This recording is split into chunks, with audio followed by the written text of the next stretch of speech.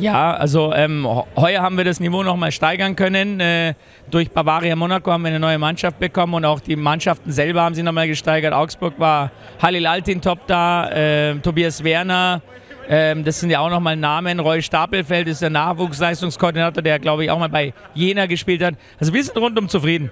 Oh, hoffe ich doch. Also ähm, ich denke, als Titelverteidiger ist man ja vielleicht dann automatisch qualifiziert.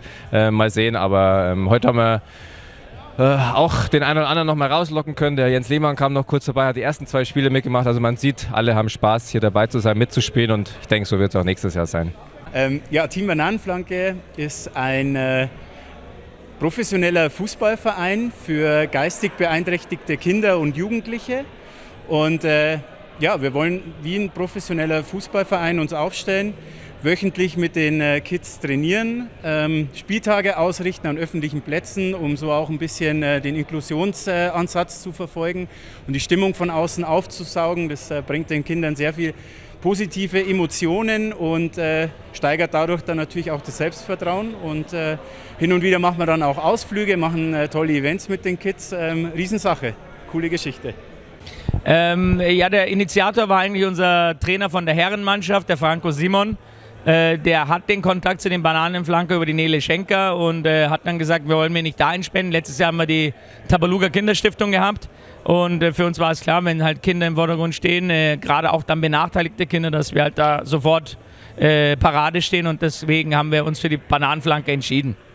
Ja, ich glaube, also ich habe es vorher auch schon mal gesagt, da kann ich einfach nur jedem empfehlen, einfach mal nachschauen, googeln, Homepage, ähm, sich informieren. Da geht es ein tolles Projekt über, über Kinder, über körperlich und geistig behinderte Kinder, denen wir ermöglichen, zu Fußball zu spielen, Training zu haben, Spiele zu haben, was alles in den normalen Vereinen nicht möglich ist. Und ähm, wie gesagt, äh, gerne mal reinschauen, durchlesen. Vielleicht kennt einer jemand, der ein Kind ist für, für sowas in Frage kommt. Also es ist wirklich ein hervorragendes Projekt und ähm, wirklich stark auch heute vom Veranstalter, dass wir hier uns kurz präsentiert konnten, uns vorstellen konnten und das auch ein paar Euros zu unseren Gunsten ähm, rübergewandert sind. Ja, mehr als zufrieden. Also wir sind bei sowas und generell auch für jede Unterstützung dankbar, in Form natürlich von finanziellen Mitteln, aber auch vom menschlichen Herzgut und Leidenschaft.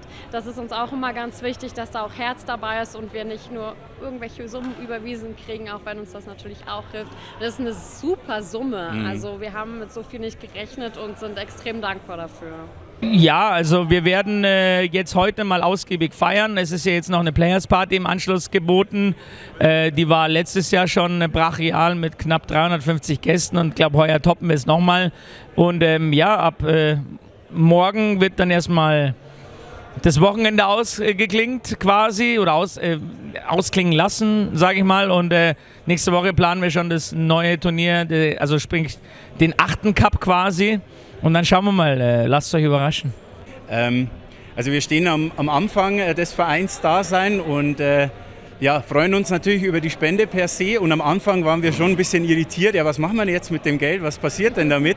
Aber jetzt, wo wir uns halt so ein bisschen steigern im Umfang und, und unseren Tätigkeiten auch, stellen wir schon fest, dass das Geld relativ schnell auch äh, dann wieder rausgeht. Also ähm, Trainer finden sich nicht so leicht. Viele Studenten, die wir natürlich als Zielgruppe auch sehen, also Sonderpädagogen oder dergleichen, die müssen halt vielleicht, um ihr Studium zu finanzieren, ähm, nebenher arbeiten. Und um dann vielleicht diesen Nebenjob aufzugeben, können wir dann vielleicht mit einer ähm, Aufwandsentschädigung ähm, eben die Trainer locken und dementsprechend äh, ja, geht da dann relativ schnell auch wieder das eingesammelte Geld raus. Ja klar, ich glaube, äh, war ein gutes Turnier.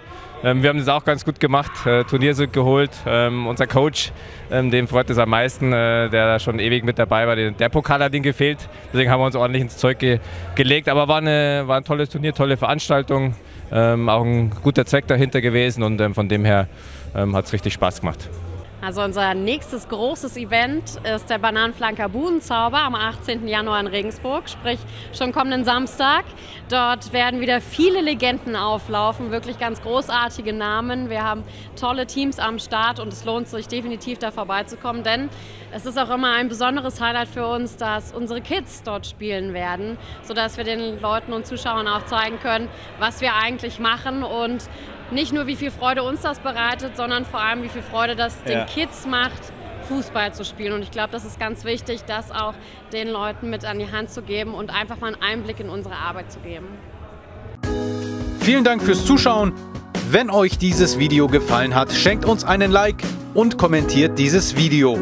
Um kein Video mehr zu verpassen, abonniert unseren Kanal oder ladet euch einfach die KickTV App herunter.